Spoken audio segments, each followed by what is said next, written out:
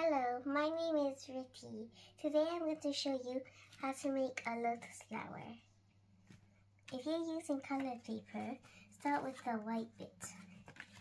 Fold the top, uh, yeah, the top right corner down to the left, and found the, and get the left right top left corner and fold it down to the right.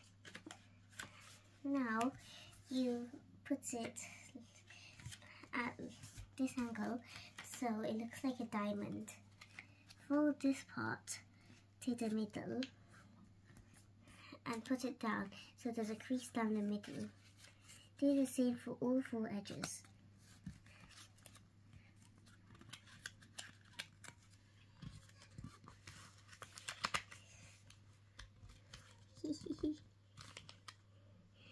Next, do it again.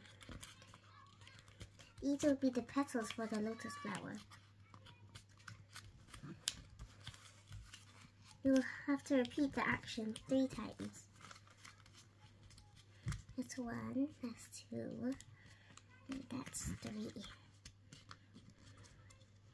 One, two, three, and four.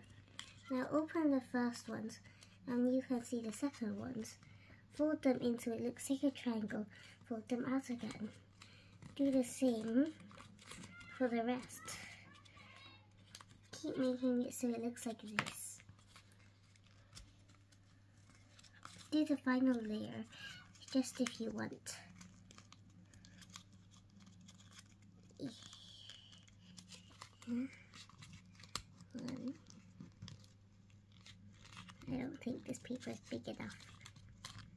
Still works.